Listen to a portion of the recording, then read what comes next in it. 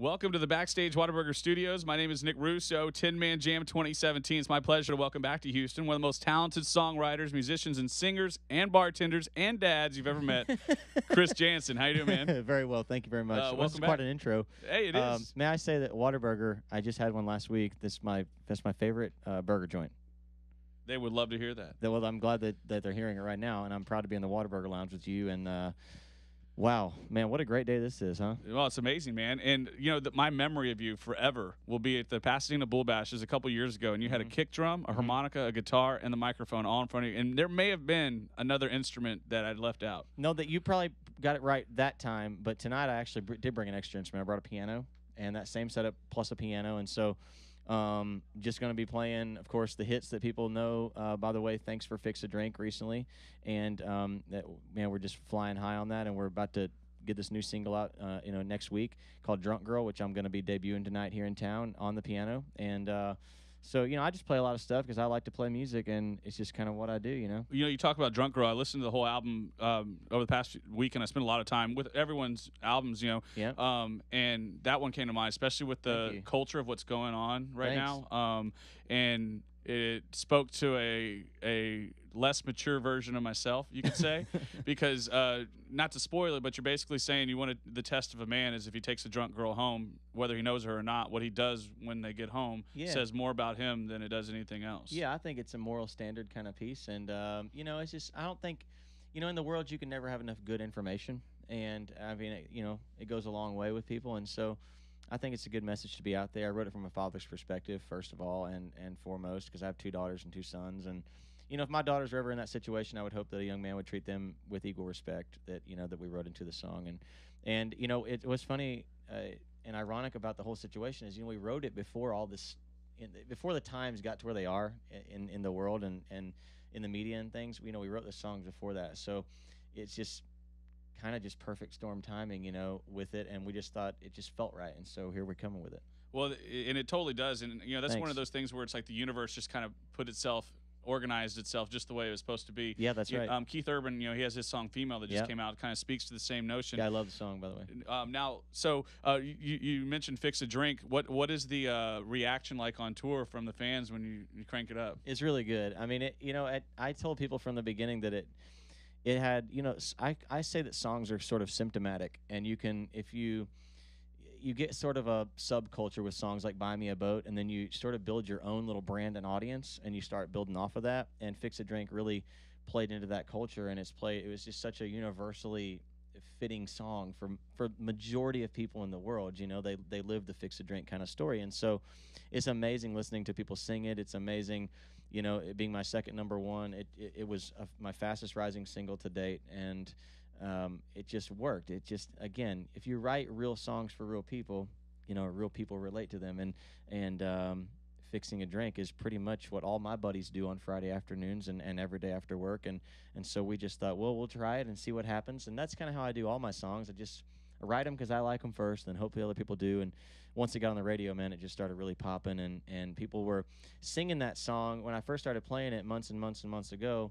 People were singing it before it was ever on the radio, which I, you know, I kind of had a telltale sign symptomatically of a hit, you know. No, totally, man. Now, uh, you, so much family at home. Christmas is right around the corner. You're going to get a little bit of break from touring. Do y'all have uh, big plans uh, for Christmas? Do y'all do something every year? I actually wish uh, we don't.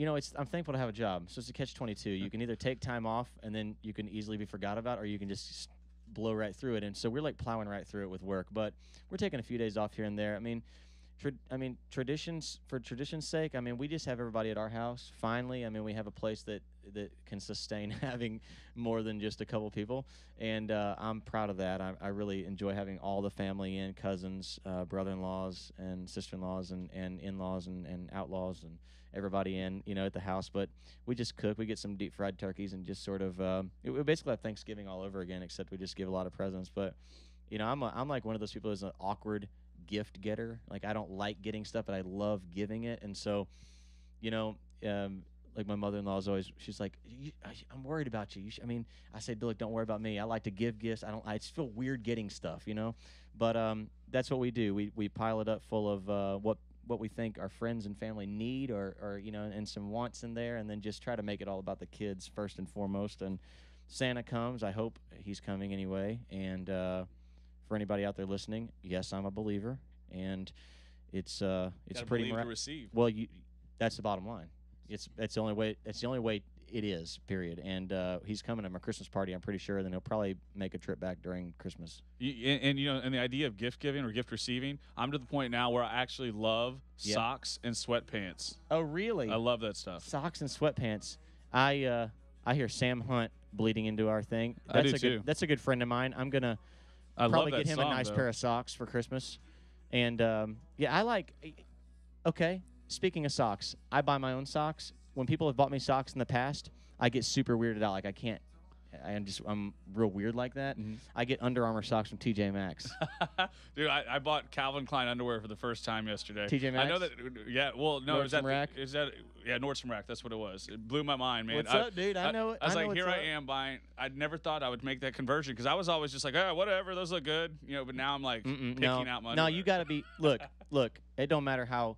If you want to put it in a basis of being real country or real, you know, city or whatever, man, you got to like, you got to take a little pride in your under drawers and your socks. I mean, it's an important thing. Like, I, I get boot socks all the time, right? And so what I mean by that is like you get sweaty on stage and you get boot sock, and it's just nasty. I'd rather just throw socks away and just get new ones. I mean, if you can afford to get socks, you're having a pretty good day. So I figure let's go to TJ Maxx and have a heyday. That's right. I'd rather have a fresh pair of socks every day than a Dude, old one. Under Armour socks, size nine to twelve, seven bucks a pack. So aside from the socks, how you feeling about tonight? I'm feeling really good. Uh, first of all, thanks for having me back. Really appreciate it on, on behalf of you and everybody at the station. And um, I'm looking forward to it, man. You know, it's you you go through a lot of years coming up through this business, and and certainly as an artist and growing as an artist, and you.